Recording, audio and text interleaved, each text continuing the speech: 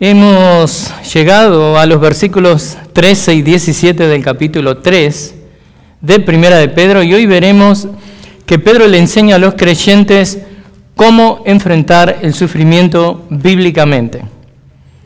De la enseñanza apostólica sacamos dos puntos, los cuales serán protección y preparación.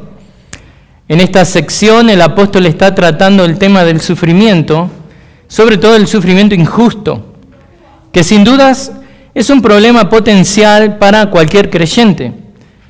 Así no nos guste usted y yo, en algún momento nos vamos a enfrentar al sufrimiento injusto.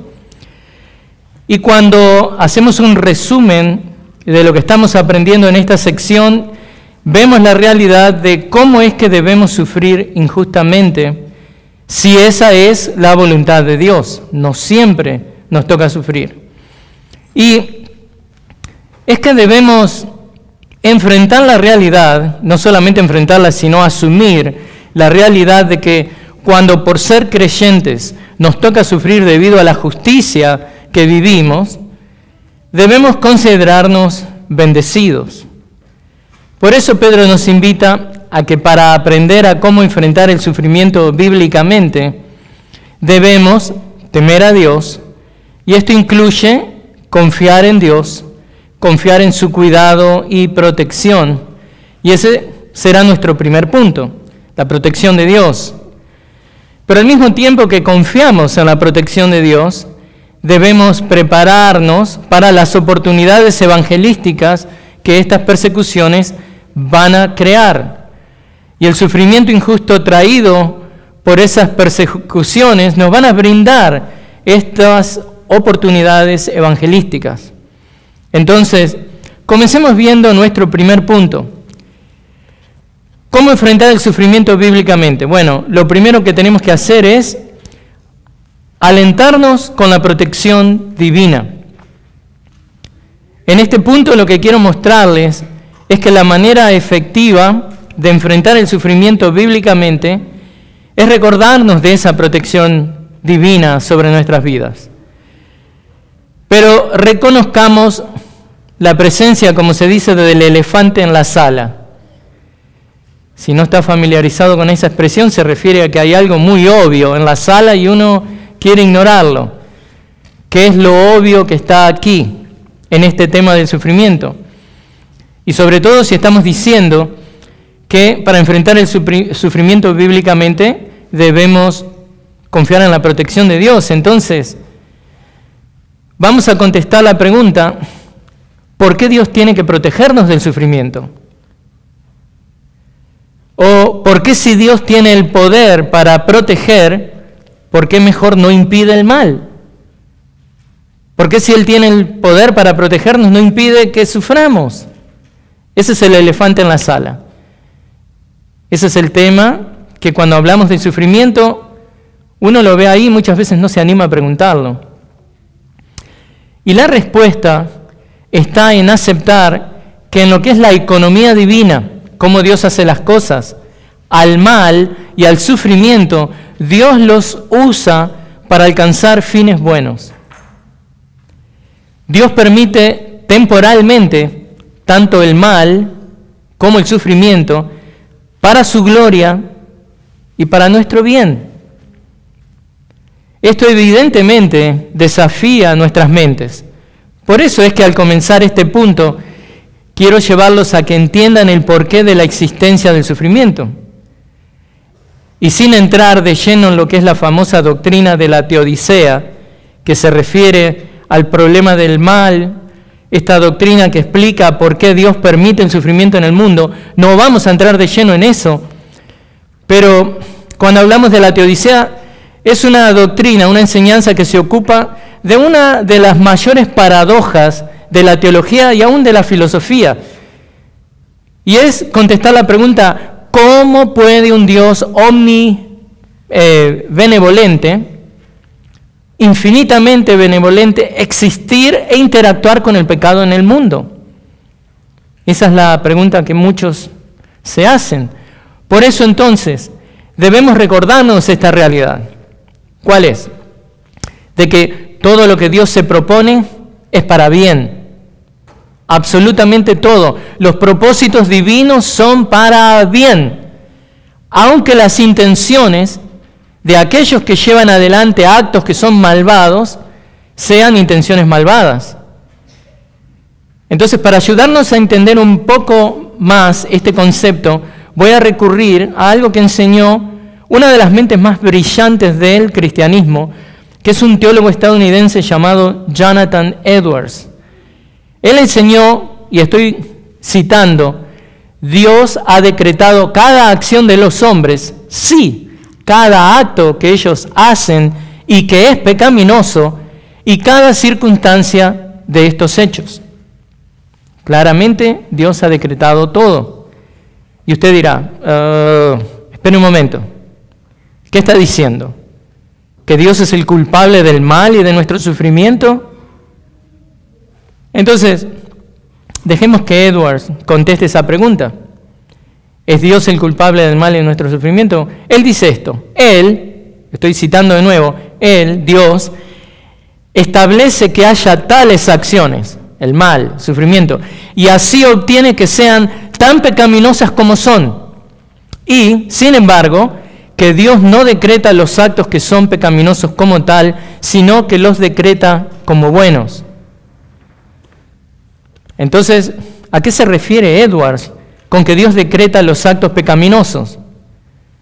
No es que Dios hace o es el iniciador del mal o del pecado, no. Edward lo contesta de esta manera por decretar un acto como pecaminoso, quiero decir decretarlo en aras de la pecaminosidad de la acción. O sea, no que Dios lo alienta como pecaminoso, es que Dios lo decreta como un acto pecaminoso en aras de la pecaminosidad de la acción, para que exista ese pecado que Él va a usar con fines buenos. Y bueno, usted dirá, mm, no entiendo, Edwards, no entiendo, pastor, de qué estamos hablando acá, que tiene que ver con el sufrimiento. Bueno, mire, Edwards contesta también esto. Dios decreta que será pecaminoso por el bien que Él, Dios, hace surgir de la pecaminosidad, mientras que el hombre lo decreta por el mal que hay en ello. O sea, tenemos el decreto del mal, Dios lo decreta para algo bueno. En cambio, el hombre que lo hace, lo hace para algo malo. En otras palabras, Dios decreta permitir el mal para el bien, el hombre lo hace simplemente porque disfruta la maldad. Pero hermanos, es ahí cuando tenemos que aceptar y confiar en el Dios verdadero revelado en las escrituras. Porque Dios, su aceidad, ¿Se acuerdan que hablé un tiempo su aceidad, su autoexistencia, su independencia absoluta en todo lo que hace, obviamente, incluidos sus decretos, hace que su infinita sabiduría y su poder permita el mal. Él permite el mal y el sufrimiento por un corto tiempo. ¿Para qué? Para exhibir su misericordia para exhibir su gracia, para exhibir su amor, su justicia y tantos otros atributos de Dios que nunca pudiéramos haber conocido si no existieran el mal y el pecado. Entonces, en la eternidad pasada, Dios decreta, y dicho así para que usted lo entienda mejor, Dios decreta que exista el mal por un tiempo corto, porque Él con ese mal va a alcanzar cosas buenas. Y no hay cosa más mala que haya existido que la crucifixión de su propio Hijo.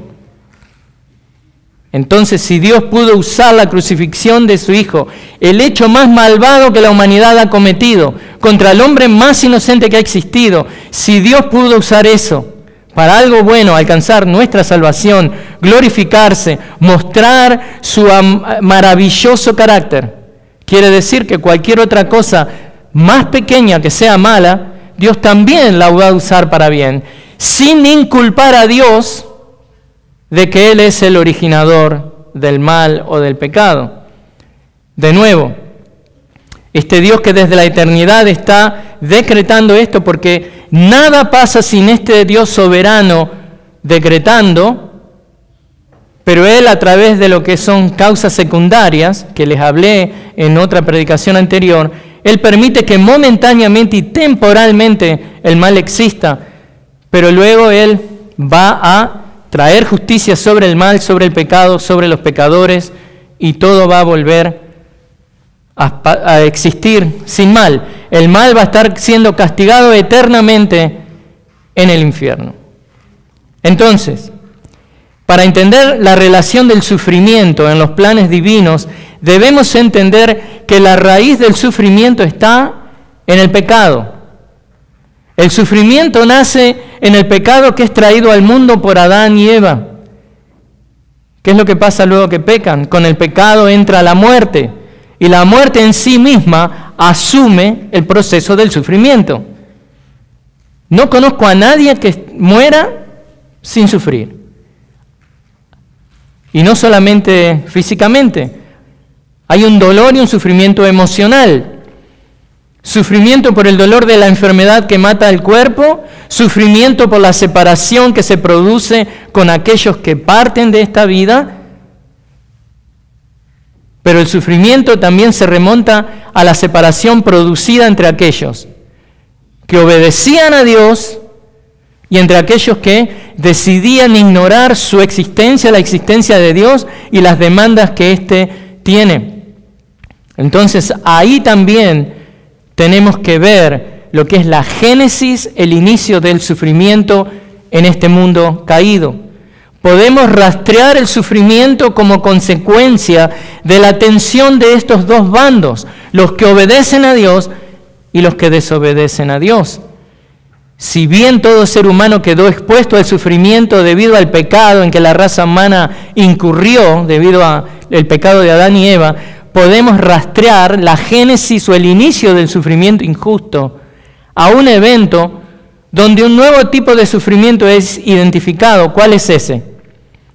Ese es el sufrimiento que viene como resultado de la persecución de los desobedientes a Dios sobre los obedientes a Dios.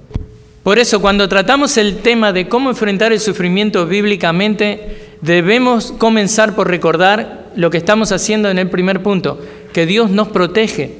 ¿Sabe cómo Dios nos protege? Nos dice ahí los versículos 13, 13, 14a y 17. Nadie puede hacernos daño. Si sufrimos, somos bendecidos. Y sufrimos si Dios lo permite.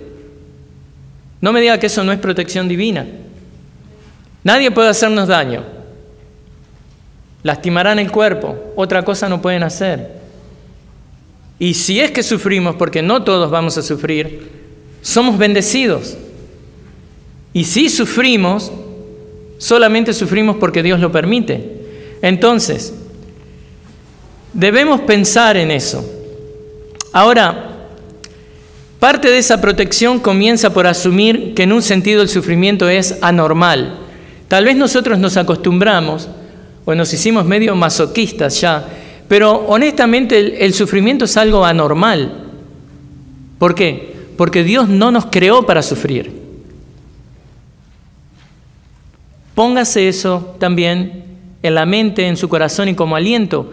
Dios no lo creó a usted para sufrir. La razón por la que sufre es porque momentáneamente y temporariamente estamos viviendo en un mundo caído en un mundo que está maldecido por Dios debido al pecado.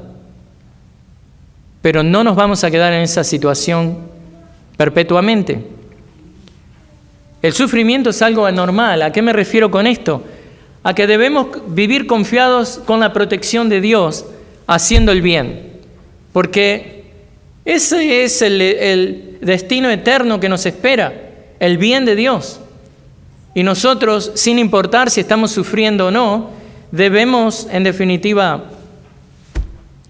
hacer lo que es bueno para glorificar a Dios, sin estar atemorizados o sin estar paranoicos o como decimos en la familia, sin, sin estar psicoseados de que sí o sí vamos a sufrir si hacemos el bien. No, ¿por qué? No siempre es así. Y en este punto, primer punto, donde vemos la protección de Dios que nos ayuda a enfrentar el sufrimiento bíblicamente, vemos tres maneras en las que vemos la protección de Dios. Entonces esta es la primera manera. Si me sigue ahí, vamos al versículo 13. Hay una pregunta retórica que Pedro hace. ¿Verdaderamente existe alguien que pueda hacernos daño? Esa es la pregunta. ¿Ha pensado en eso? ¿Verdaderamente existe alguien que pueda hacernos daño? La segunda manera que vamos a ver va a estar en el capítulo, en el, perdón, versículo 14, es una declaración contundente. Si sufrimos, somos bendecidos. Y la tercera manera en la que les voy a demostrar que Dios nos protege es que en el versículo 17 nos dice que solo sufriremos si es la voluntad de Dios. Entonces, en la primera manera en la que vemos la protección de Dios es que Dios no ha permitido que la maldad llegue al punto de normalizar la persecución y el padecimiento injusto. Imagínese si Dios hubiera permitido eso. Porque hay, cuando uno lee la historia de la iglesia, tiempos muy sangrientos de mucha persecución hacia la iglesia. Pero eso no fue la norma. Siempre hay distintos tipos de persecuciones, como seguramente lo hay ahora, pero no una persecución, digamos, que toma nuestra propia vida o persecuciones sangrientas. Esto no se ha normalizado porque Dios así no lo ha querido, es una de las protecciones que Dios nos da. Entonces, debemos enfrentar nuestro sufrimiento teniendo eso en mente. Pareciera que recibir el mal por hacer el bien se ha normalizado. Sobre todo, bueno, como les digo, hay distintas etapas de la historia que nos muestra eso. Pero en realidad, hermanos, en su amor y misericordia Dios preserva a su iglesia aún a través de esos momentos en los que la persecución acecha. Por eso Pedro hace esa pregunta. ¿Y quién les podrá hacer daño a ustedes si demuestran tener celo por lo bueno? Esta pregunta retórica puede ser entendida de dos maneras. Que se refiera a que nadie haría eso, de que nadie va a hacerle daño, ¿no? Eh, solo un necio pensaría que alguien va a lastimar a alguien por hacerlo bueno, algo que nos damos cuenta que tristemente no es así. O también podemos ver de que Dado que Dios los protege, nadie puede infligirnos un daño real y eso es la aplicación que yo estoy haciendo. Recordamos el versículo anterior que vimos en la predicación anterior, que los ojos de Dios están sobre los justos y sus oídos atentos a sus oraciones. ¿Se acuerdan? Basado en eso, claramente vemos que Dios nos protege. Dios no pone eso y después no lo hace, no. La manera bíblica de enfrentar el sufrimiento nos lleva a ver la protección de Dios, porque el Hijo y la hija de Dios viven en unión verdadera con Cristo. ¿Ha pensado en eso también? Por lo tanto, debido a que usted vive en una unión verdadera con Cristo, los enemigos de Cristo y el cristiano, o quien sea que a usted trate de lastimarle, no lo puede lastimar o herir de una manera, digamos, eh, fatal, de una manera eterna, es una manera física o emocional por ahí. Lo insultaron, le dijeron algo muy feo, ¿no? Pero bueno, Romanos 8:31 es un recordatorio de que no hay nada que verdaderamente el hombre pueda hacernos que nos dañe verdaderamente. Pablo dice, si Dios está por nosotros, ¿quién estará contra nosotros? Y eso es una pregunta que tiene una respuesta bien clara y fácil. Nadie. El salmista David dice, por ejemplo, en el Salmo 56.4, en Dios cuya palabra alabo, en Dios he confiado, no temeré, ¿qué puede hacerme el hombre? ¿Cuál es su temor? ¿Qué es lo que teme? Que la familia no le hable más, porque usted está más, digamos, fiel a Cristo que a tradiciones familiares. Bueno, nadie le puede hacer daño si usted pertenece a Cristo. Pedro, está asumiendo acá, hermanos, que los cristianos tienen un celo ardiente por buenas obras y que las van a, las van a hacer sin importar qué, sin importar las consecuencias. Y Dios dará testimonio de sus buenas obras y por la fe, aún si mueren, aún si le toca entregar su vida. Su testimonio fiel todavía hablará. Ahora, un pequeño comentario al margen. Muchas veces uno dice, si a mí me ponen una pistola en la cabeza para que yo niegue a Cristo, yo no le niego. Que me peguen un tiro ahí nomás y ahí, ahí quedo. Pero no voy a negar a Cristo. Pero eso es lo más fácil que hay. Honestamente creo que todos los que estamos acá, todos nosotros haríamos eso, cada uno de nosotros. Porque vino el tiro a la presencia de Dios nunca más. Lo que es más difícil es no negar a Dios y negarnos a nosotros mismos cada día que una tentación viene, que un mal pensamiento viene, que decir una mentirita blanca es la salida que supuestamente creemos que es mejor para nosotros y deshonramos a Dios al no hablar la verdad. Eso es difícil, morir día a día, tomar nuestra cruz y seguirle. Eso es más difícil. Entonces le dejo ese desafío. No se preocupe de tener la pistola en la cabeza, créame, tiene suficiente cada día, cada hora, cada segundo para negarse a usted mismo y no negar a Cristo. Hágalo ahí.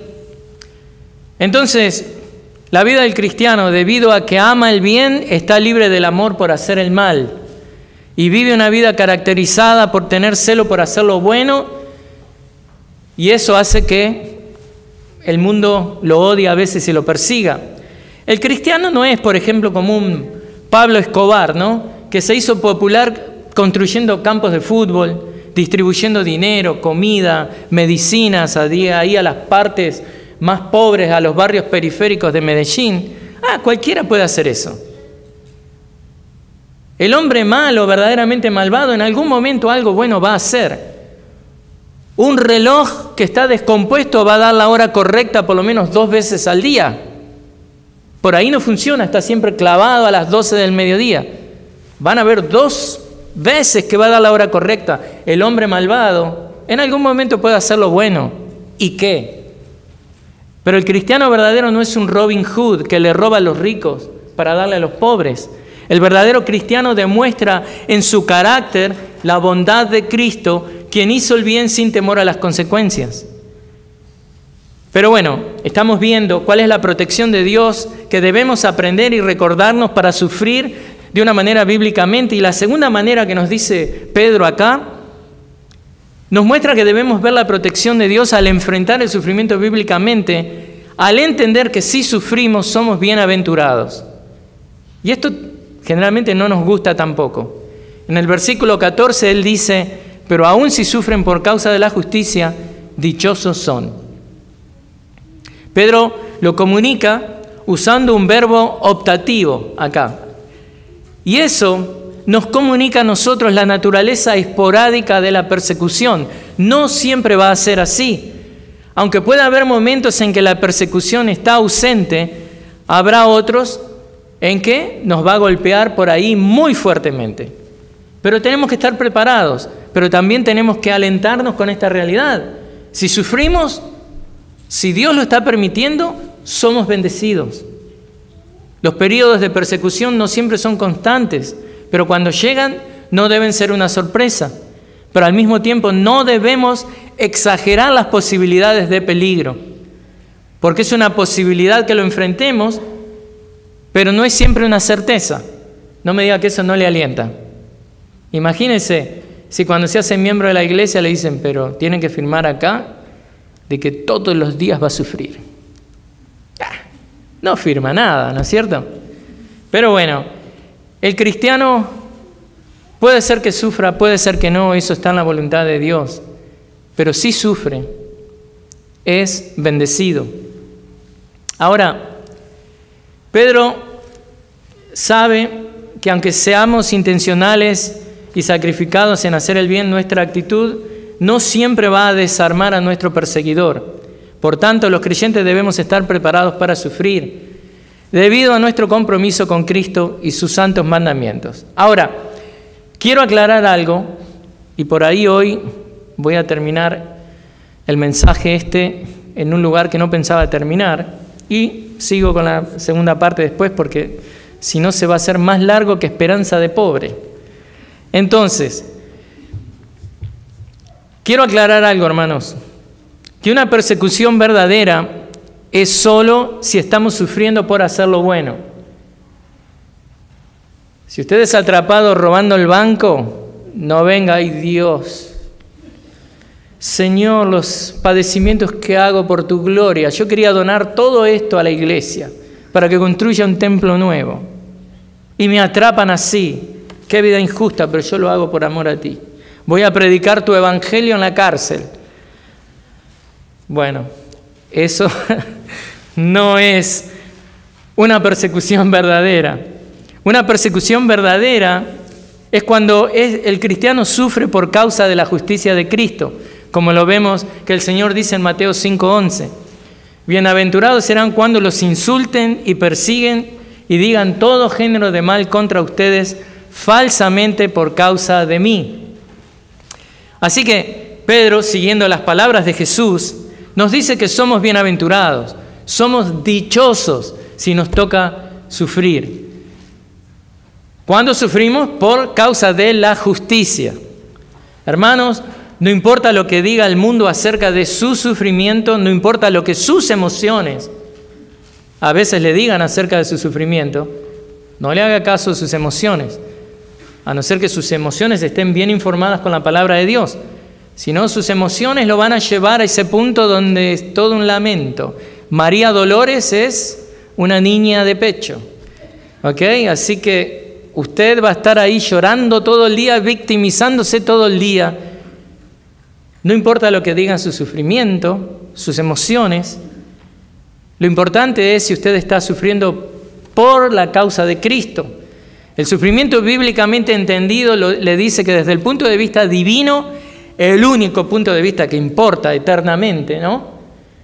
Desde ese punto de vista, bajo esa opinión divina, el creyente que sufre debe considerarse favorecido. El creyente que sufre injustamente por causa de Cristo debe considerarse bendecido. Entonces, cuando pensamos en el sufrimiento de una manera bíblica, no solo que nadie nos puede hacer daño, nadie nos va a hacer daño, no solo que si sufrimos somos dichosos, sino que si sufrimos y vamos a sufrir solo si es la voluntad de Dios. Este es el tercer punto acá en lo que es nuestro primer punto de la protección. ¿Cómo enfrentar el sufrimiento bíblicamente?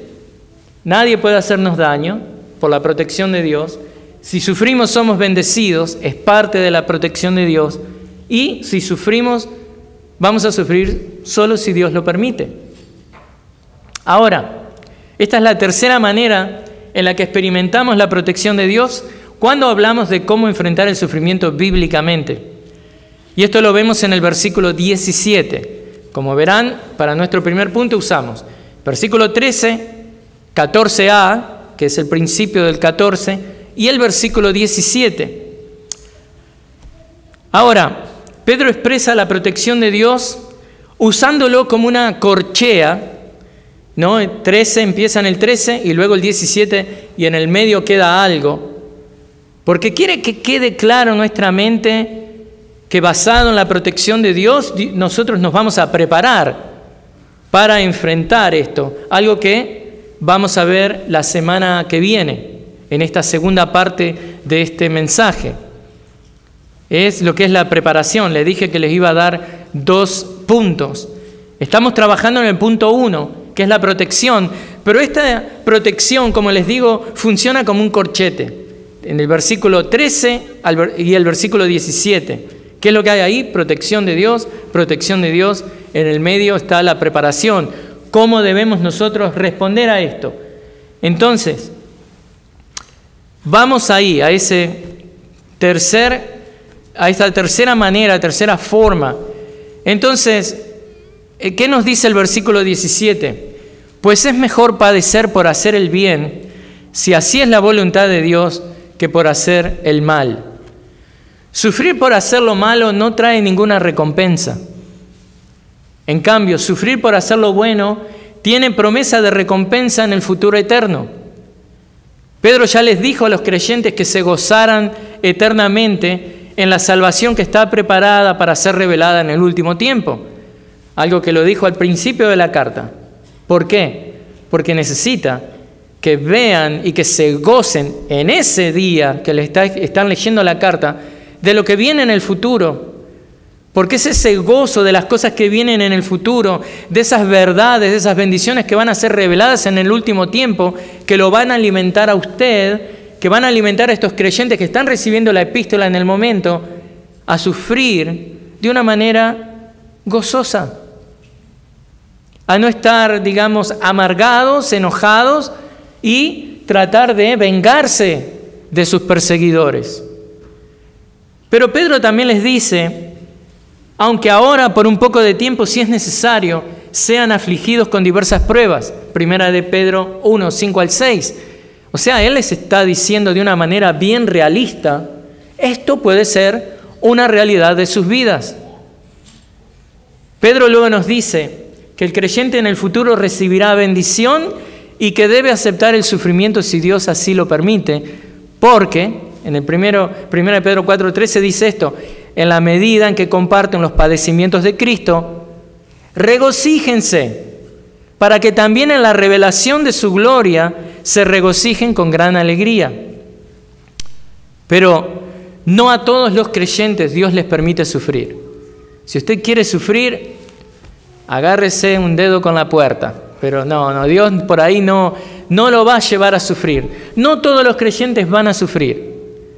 Si usted quiere sufrir, bueno, va a encontrar maneras en que lo pueda hacer. Pero algo que claramente se ve acá, en toda esta sección, es que en la economía divina, hermanos, es tan importante recibir instrucción acerca de que podríamos sufrir en esta vida, si es que Dios lo permite, es tan importante eso como el tema de que recibamos el aliento cuando estamos sufriendo. ¿Por qué es eso? Una vez que usted está sufriendo, ya está sufriendo. Necesita el aliento, eso es bueno. Y Pedro marca eso, alienta a estos hombres, a estas mujeres. Pero Pedro también nos muestra que es importante saber y entender que el sufrimiento es una posibilidad para el cristiano. Entonces esto en un sentido nos prepara para sufrir, nos prepara para orar, nos prepara para estar en la actitud correcta cuando Dios nos llama a sufrir. La pérdida de alguien, de un ser querido, la pérdida de la salud, la pérdida de trabajo, la pérdida por ahí de, de dinero, la pérdida de, no sé, una amistad, por causa de Cristo. Entonces, es bueno que estemos orando nosotros, sabiendo que esa puede ser una realidad que enfrentemos. Es bueno que nosotros estemos orando al respecto. Y Pedro cree que es tan importante enseñarles a los creyentes de que podrían sufrir, pero que si sufren es solamente porque Dios lo está permitiendo. Para él es tan importante eso como alentarlos cuando están sufriendo. Y créanme que esta enseñanza de que Dios no desea que todos sufran y enfrenten persecución era de gran importancia para los creyentes de esa época. No solamente para los creyentes que vendríamos después. Los quiero llevar para que entiendan más el punto, cuán importante era para estos hermanos y hermanas del primer siglo escuchar esto que está enseñando Pedro. Los quiero llevar al primer siglo o al segundo siglo también, aún después que esta carta fue escrita. Porque muchos de los mártires de los primeros siglos de la iglesia, segundo siglo, tercer siglo, muchos de los mártires que dejaron su vida podrían haber evitado su muerte. Pero en el momento había una cultura de martirio. Si usted quería tener, digamos, como se dice en inglés, un badge, ¿no? Un reconocimiento, algo acá que lo diga, tremendo cristiano, si los hay, santo y piadoso, mártir. Quiero morir. Señor, como les dije, que me pongan el revólver en la cabeza y yo no confieso a Cristo. Quiero ser un mártir para demostrar mi amor, mi pasión, mi compromiso por Cristo. Muchos llegaron al martirio por voluntad de Dios y verdaderamente dejaron un testimonio valioso para la causa de Cristo, pero muchos otros murieron innecesariamente. ¿Por qué? Por no entender este punto que estamos haciendo ahora, de que nosotros sufrimos solamente si es voluntad de Dios, si así es la voluntad de Dios. Hay un caso muy conocido y muy abusado también por los reformadores, sobre todo los reformadores del primer siglo, segundo, perdón, siglo XXI, por nosotros, perpetua. ¡Oh! El modelo de martirio. Pero bueno, le digo algo. Perpetua fue un caso de estos que pudo haber evitado la muerte. Es más, lo que ella creía, había muchas cosas que eran hasta heréticas. Pero bueno, hoy por hoy se la ve como una ídola de la fe, porque dejó su vida.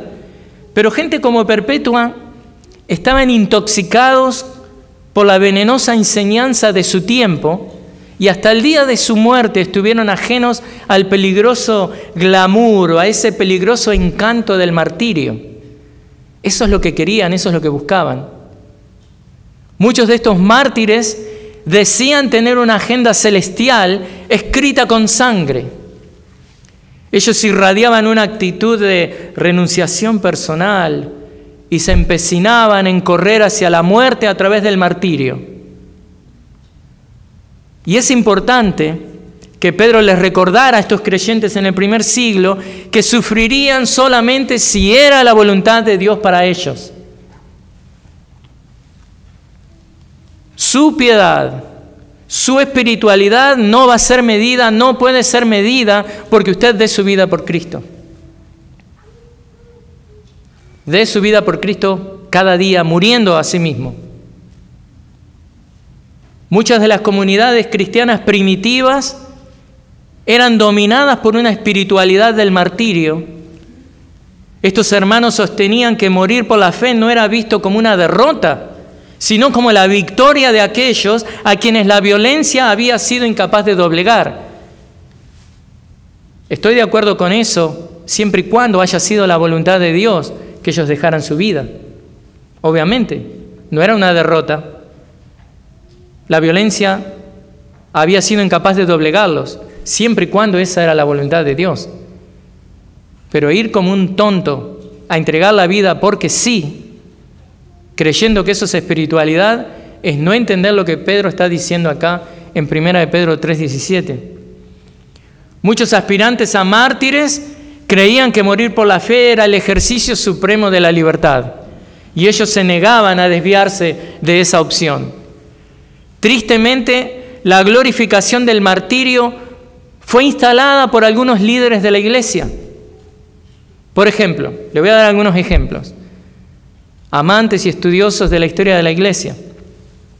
Ignacio de Antioquía, escribiéndole a los romanos, afirmaba que si su cuerpo se salvara de la ejecución pública, le sería difícil alcanzar a Dios. ¿Qué pavada es esa? Se alcanza a Dios por la obra perfecta que Cristo hizo en la cruz, por fe.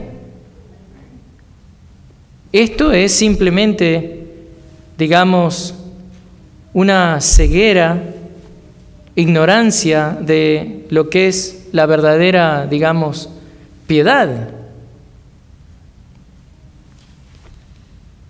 Esa declaración es casi blasfema, hermanos, lindante con la herejía. Y pudo haber tenido, como tuvo Ignacio de Antioquía, muchas cosas buenas.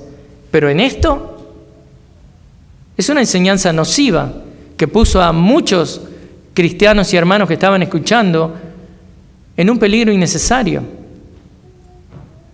Otro caso fue el de Cipriano, quien creía en el primer bautismo para agua, para la remisión de los pecados, y el martirio como bautismo de sangre para poner fin a los pecados. ¿Qué puedo decir? Otra casi herejía. Obvio que al morir uno le pone fin al dejar de pecar, sí, pero no está en nosotros tomar esa decisión. ¿Qué hacemos con nuestra vida? Está en las manos de Dios. Vivir el día de nuestra muerte está en las manos de Dios. No está en nosotros quitar nuestra vida o cometer suicidio, ¿no? Como se dice, eh, cuando hay mucha gente que hace eso, comete un, un crimen y va con algo que parece un arma delante de la policía para que la policía lo suicide. El cristiano no puede hacer este tipo de cosas. Si el día de mañana hay una persecución a los cristianos, usted ponga en cuidado, tenga cuidado de su familia y si se tiene que ir de la ciudad, se va de la ciudad. No hay nada malo ni pecaminoso con eso. Ahora, Cipriano dice, bueno, el primer bautismo por agua para la remisión de pecados y el martirio como bautismo de sangre para poner fin a los pecados. Otra casi herejía. Increíble. Pero bueno, había muchas cosas. No quiero ser tan duro con esos hermanos que nosotros estamos en el siglo XXI parados en los hombros de grandes teólogos que han aprendido cosas y saben mucho mejor que esto. Pero eh, verdaderamente no tenemos que tomar este tipo de enseñanzas, porque si no deberíamos suicidarnos todos para dejar de pecar. Ridículo.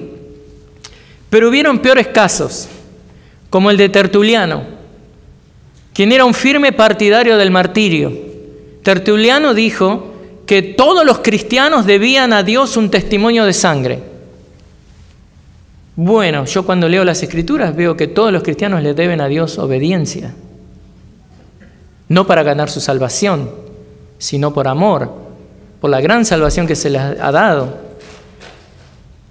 Pero no solamente Tertuliano se quedó con eso, es como que hizo una jugada maradoniana, llegó al área, pero la tenía que clavar en el ángulo, tenía que meter el gol de la mejor manera y la remata con una tremenda herejía, sosteniendo y promoviendo una creencia peligrosa y hereje, diciendo esto, el martirio era el único medio seguro de salvación. Tengo ganas de dejar el púlpito ya. El martirio era el único medio seguro de salvación. En uno de sus escritos llegó a decir que todos los pecados son perdonados en una muerte como esta. Hermanos, eso es un error enorme. Por eso, era bueno que Pedro preparara a los creyentes a pensar de una manera mesurada, una manera bíblica acerca de las persecuciones y el sufrimiento. No en vano Pedro escribe para animar a los creyentes perseguidos que estaban pasando por grandes sufrimientos. Y el solo hecho de que escribe, fíjense esto, si usted va conmigo, primera de Pedro 1, 1.1 dice Pedro, apóstol de Jesucristo, a los expatriados de la dispersión en el Ponto, Galacia, Capadocia, Asia y Bitinia. ¿Sabe qué le dice eso? Que el solo hecho que él está escribiendo a los expatriados nos da la idea de que Pedro aprueba la huida como la forma correcta de hacer, digamos, frente a las persecuciones. Él claramente le escribe a los expatriados. Muchos de ellos verdaderamente terminaron como expatriados debido a la causa de Cristo. Y Pedro claramente les dice, los aliento en medio de sus persecuciones. No les dijo, no, ¿dónde, ¿de dónde eran ustedes? ¿De Jerusalén? No, tienen que volver y que los maten. No, no. Pedro, si bien reconoce la realidad de las persecuciones y las diversas pruebas, incluido el martirio, no quiero ser malinterpretado, hubieron martirios verdaderos, donde un hombre no pudo evitarlo y donde obligado a negar a Cristo el hombre dijo, no, no, no me importa si me queman, no me importa si me cortan la cabeza, no me importa el tipo de muerte que quieren infligir sobre mi vida, no voy a negar a Cristo. Y eso es un martirio verdadero. Pero sufrimos si Dios lo permite. Y eso es parte de la protección que Dios nos da. Y eso tenemos que entenderlo para saber cómo enfrentar el sufrimiento bíblicamente.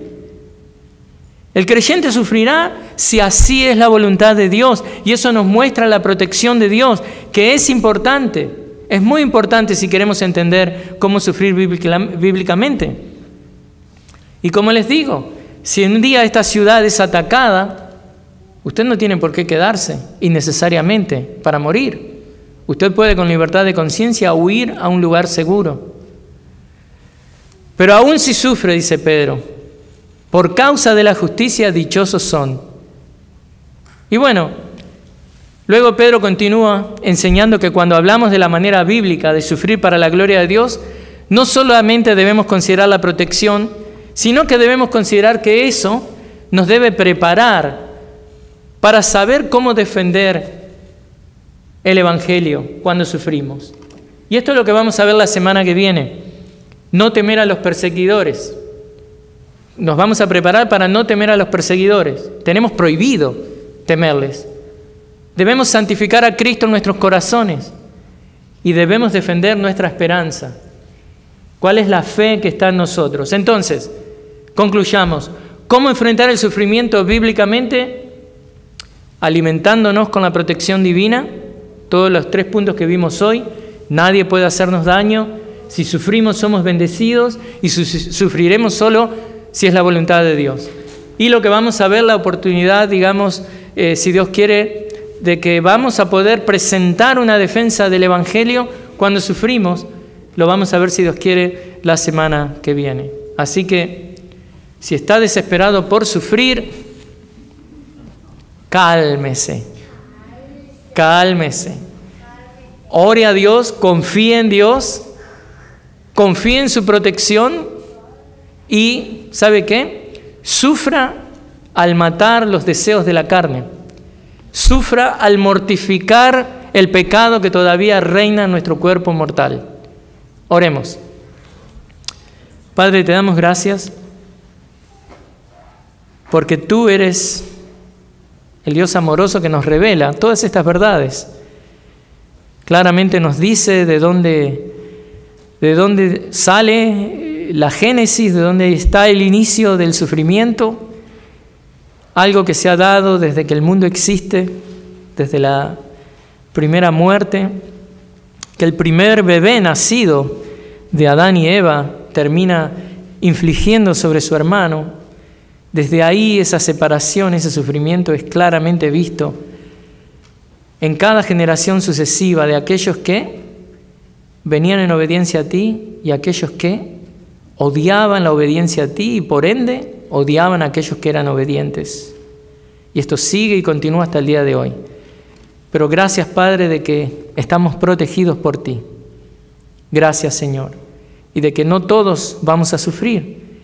Y que si sufrimos Señor, somos bendecidos. Te alabamos y te bendecimos por estas verdades. Oramos en el nombre de Cristo. Amén.